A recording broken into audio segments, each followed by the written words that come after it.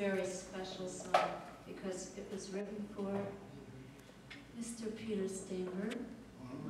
Because for those of you who know him, most mornings he can be found down at the swimming pool, Kennedy doing laps.